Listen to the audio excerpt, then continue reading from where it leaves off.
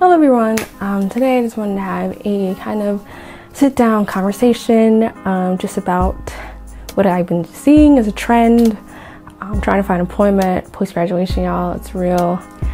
And just trying to reassert this not only to myself but to other creatives is to know your worth. Now, the reason I'm saying this is because I'm seeing a trend which I'm not really liking. I don't know wherever you are in this world, if you're in Atlanta or if you're in New York. There is this trend that people are not valuing creative work as much as they should be, if that makes sense. And in this time, in this day and age, creative work, creativity really sets you apart either for your business, for your Instagram, for your YouTube, or whatever, it really sets you apart. So, for people that don't put much value into it or you'll get experience. It's really disrespectful, uh, to say the least. And I don't know why people are seeing this as a culture that is normative when it shouldn't be. Like, some if somebody's creating a video for you, or if somebody's doing graphic design or illustration, that should be valued as much as somebody like doing your taxes or your accounting information because that still is creative work. That is someone putting in their time, their effort, their own creative output to enrich your visualization or communication to your customers. And that's a big feat. That is a lot of work. And for some people not to value that or have one person doing all the creative work, which I've seen, that is not okay. because you're not first of all you're assuming that one person is the master of everything which most creative people are not. Some some people are or more skilled in different skill sets than others. Some people are more specialized. But to assume that and then put that load on a creative person and then being surprised that they can't deliver the same amount of you know work or the speed that you wanted that's not what they were trained in for. So to have this conversation about why that is is one I really want to have with people and just understand or get or explain it to other people that you can't just write off creative work as nothing or assume that the creative labor is less than what needs to be paid for or or um, compensated for. Because without us you wouldn't have anything visual. You wouldn't have posters movie posters. You wouldn't have you know al- album soundtracks storybooks. All throughout even product packaging all throughout your life on on on human earth on human earth. All through your life on planet earth you've seen creativity all around you whether you notice it or not it is there. And somebody somebody took the time to create each and every asset that is out there in this world.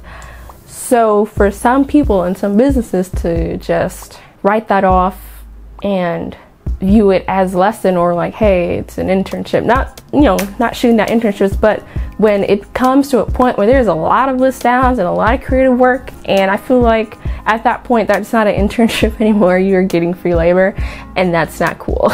Especially if this person's really good and they really care about the work that they output they're not going to put out crap obviously. But for people to take advantage of that i don't appreciate and i know a lot of creatives don't appreciate so this is just, you know, a pep talk just saying, know your worth, value your worth. I'm kind of going through this situation right now where I'm at this time and space where I'm like, I've been doing job hunting, going to interviews, you know, and it just seems that I'm, I'm at an impasse. There's two decisions I have to make. I either want to work for someone that probably won't value the work as much as I do. If they do, it's great. Yes, in the very rare instance that they are also creative and they understand the struggles and we can bond over that. And then there's this other instance where I'm like, should I just make my own opportunity and just go for it and and figure out, you know, just doing it rather than waiting or applying or hoping that someone will see my potential that I already know I have, that I already show y'all what I do, and just waiting for that big break or whatever, which is not you know, I know it's not ideal, but I'm hopeful. So I'm kind of at that point where I'm just trying to decide what I want to do. And it sucks. It really sucks, especially not downplaying Atlanta, but it's a very tight knit, you know, community, which I love and I, I appreciate it. It's great.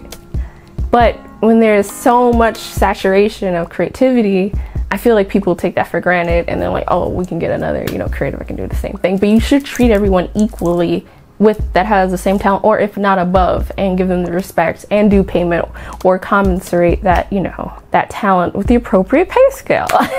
And that's why i'm kind of like if you're requesting like or have internships for like free creative work if there's either that's digital media planning or content creation for your for your business it's it's at a disservice because there's no guarantee that you will take that person on. If you do, all well and good, the internship was worth it, but most of the times people learn internship, awesome, no pay, but it should that you're not showing that there's true value in that person's work, which is very, very upsetting. And I think there should be there should be changing a trend of this. And so if I were in that position, if I was in a you know business position, this is what I would do. I'd be like, okay, if you want to be a videographer, you want to be an editor, here's what you will need to do, and you'll be paid based upon how well you accomplish these tasks, you know, or just pay them.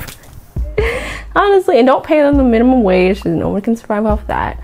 But pay them, you know, not saying the starting rate of like a senior videographer or senior video editor, but like of an apprentice. Like, do we not have apprentice apprenticeships anymore? Especially for creative types, I feel that would be more beneficial actually if that was more of a trend rather than internships. Because at least for apprenticeships, it should be paid, but it also, you know, is a guarantee that hey, after you finish working, you will be here. Not like, uh, we'll see how you do afterwards. Like, you, if you interview that person, went through this whole process, and you're like, they are the one and then you're like eh, we might not have a position for them later on that's wasting their time and that's i hate wasting time if y'all know me if, if y'all near me i hate wasting time i absolutely hate it so anyway i could avoid that and just streamline the whole situation makes everything better so just allowing that to happen and just allowing that space where creatives feel appreciated and that they're getting paid based on what they should be getting paid if they have you know if they show their talent they practice their craft